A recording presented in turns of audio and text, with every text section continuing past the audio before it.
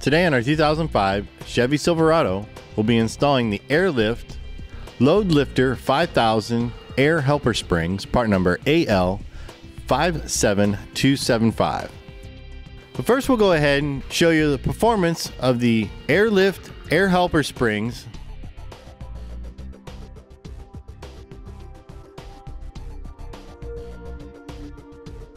Now to begin our install, we'll first remove the manufacturer's bump stops.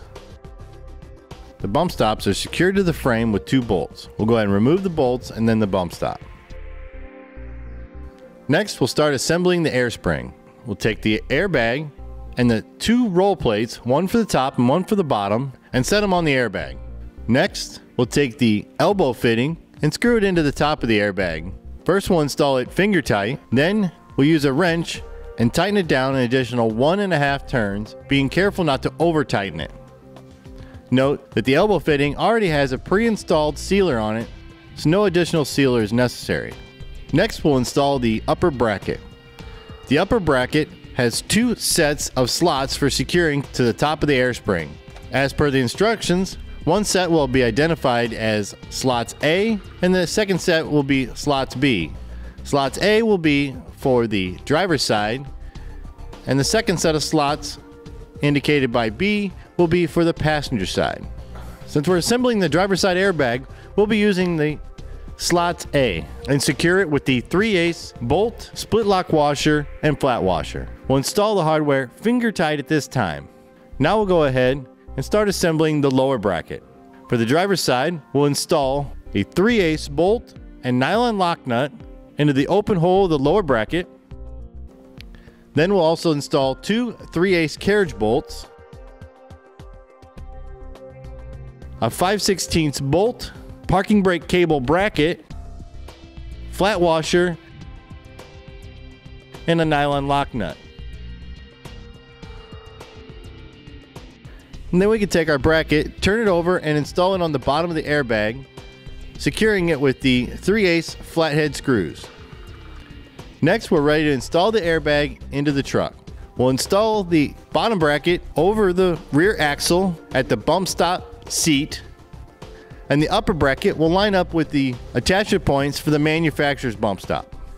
We'll make sure the J-hooks of the lower bracket go around the bump stop seat, being careful not to pinch or damage the manufacturer's brake lines as we set our air spring into position. Now with the air spring in position, we'll use a 3 ace bolt, split lock washer, and flat washer going down through the frame, then through the upper bracket, secure with the 3 ace lock nut.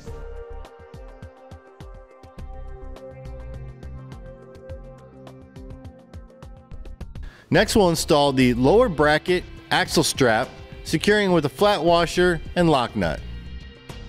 Next, we'll make any adjustments necessary to make sure that the upper roll plate and lower roll plate are as perpendicular to each other as possible. Now with all our hardware in place, we'll go ahead and start tightening it down. We'll start with the upper bracket to frame attachment point. Once we've made our adjustments, we'll go ahead and tighten down the air spring to the upper bracket. Then we'll secure the axle strap. Then we'll secure the parking brake cable bracket. Now with the air spring secured, we'll install the parking brake cable clamp, securing it with the 5 16 bolt, flat washer, and nut. Once we have the hardware installed finger tight, we'll go ahead and tighten it down. This will ensure that the parking brake cable does not come in contact with the air spring. Now with the driver's side installed and secured, we'll move over to the passenger side where we'll repeat the same process.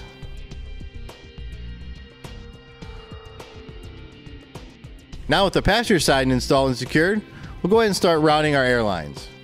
To begin routing the airlines, we'll first make two attachment points for our inflation valves. Here at the back of the vehicle, we'll go ahead and drill two holes next to the manufacturer's seven-way connector as mounting points for our inflation valve. We'll start with a smaller pilot bit and open up to the 7 16 bit, which will be large enough for the inflation valve.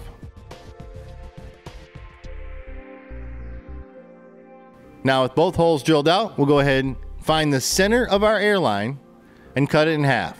Then we'll take one of the inflation valves, we'll install a nut and serrated washer, feeding it from underneath the vehicle outside through the seven-way bracket. Then we'll install the rubber washer, flat washer, and nut to secure it, and we can tighten it down. We'll go ahead and repeat the same process for the passenger side. Now we can go ahead and start routing our airlines. Keep in mind when routing your airlines to stay away from any moving components such as steering or suspension or excessive heat such as exhaust. We'll go ahead and route the driver's side following the manufacturer's wiring and then along the frame and ultimately to the airbag.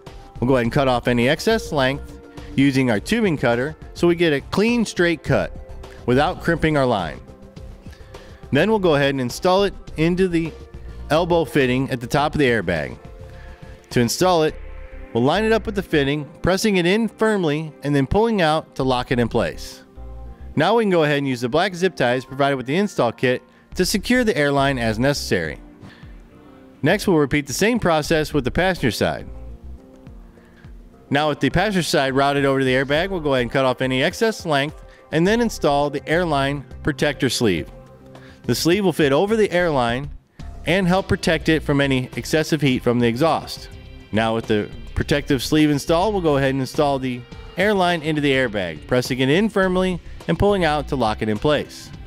Now we can go ahead and use the black zip ties to secure the airline as necessary.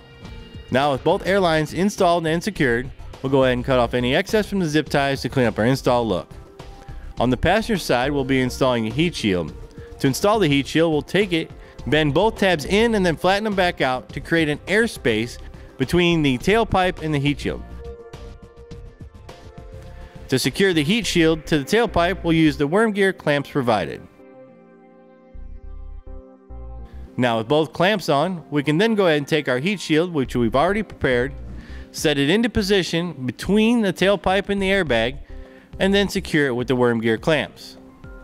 With everything installed and secured, we'll go ahead and put some air in our air springs and then check for leaks. To check for leaks, we're just going to use a water soap solution and spray each one of the attachment points. Now that we've verified we don't have any leaks, we're ready to hit the road. And that does it for the install. The Air Lift LoadLifter 5000 Air Helper Springs, part number AL 57275 on our 2005 Chevy Silverado.